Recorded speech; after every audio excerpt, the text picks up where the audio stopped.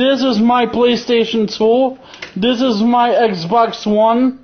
This is my Xbox 360. And this right here is my PlayStation 3. And this is what, what I like to call the Nintendo Shit Cube. And the reason I call it the Nintendo Shit Cube because it's a piece of fucking shit! The fucking shit! The original Nintendo Entertainment System sucked because he had to perform a certain amount of blowjobs on the cartridges in order for the games to work. And then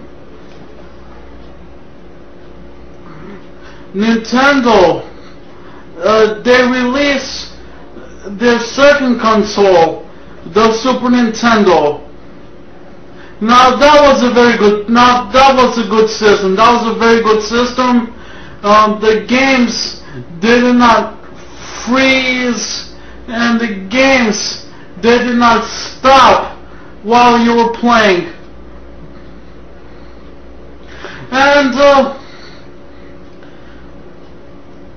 and then Nintendo they released their third video game console the Nintendo 64. Now that also was a very good system. It didn't have full motion video. It wasn't bad for 90s system. And then Nintendo releases their fourth video game console.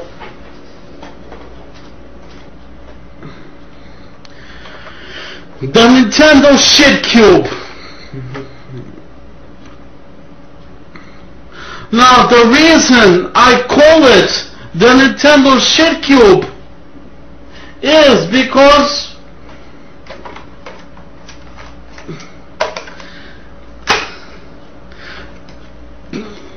take a look at the fucking game. This is a Nintendo GameCube game.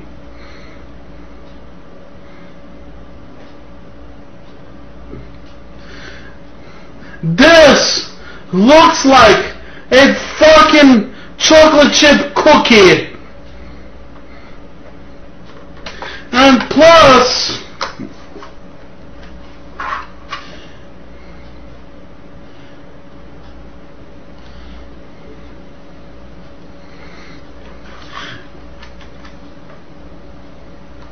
what the fuck?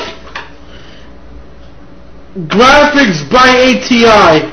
ATI, my ass! The Nintendo GameCube, it has good graphics, nice hardware, all that graphics, all that hardware,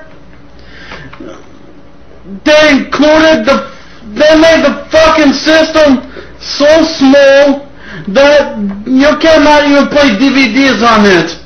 Now, the PlayStation 2 was sold more than the GameCube because it had a DVD drive. Like I said, the Nintendo GameCube, it has good graphics, good hardware, but the PlayStation 2 is way much more better than this god awful piece of shit.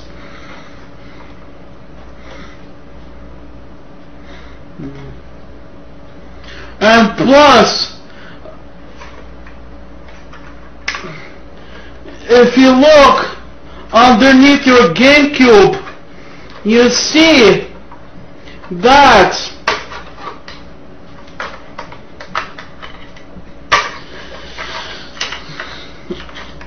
it has a separate modem. The modem is sold separately. But in the PlayStation 2, it had a built-in modem.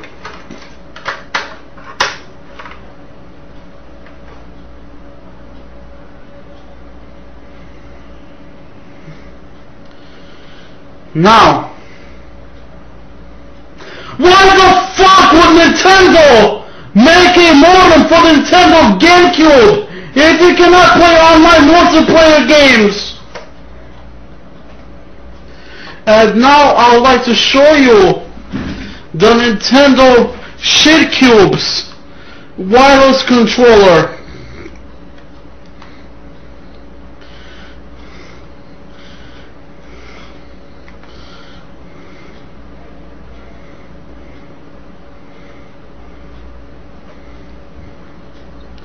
This is the controller's wireless receiver. You just put it on the GameCube like this, as you would like a, a regular GameCube controller. And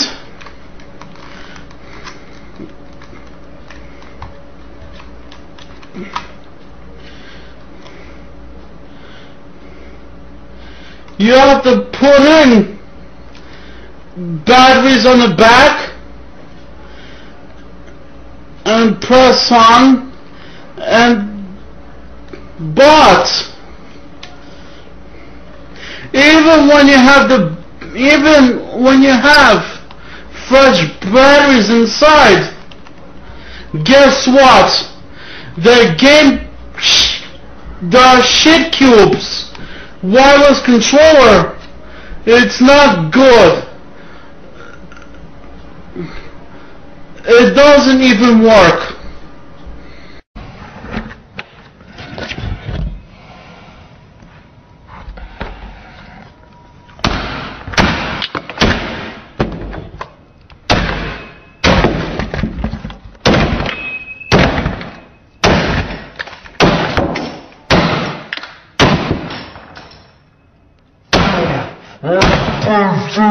Shit.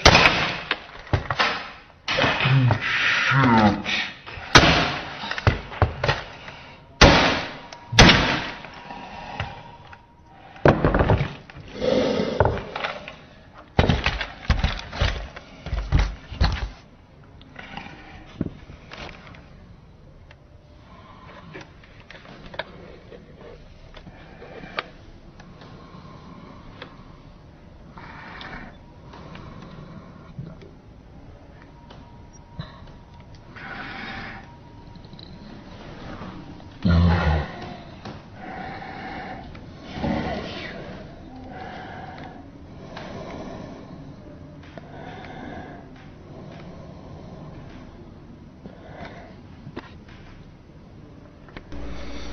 Nintendo Shit Cube.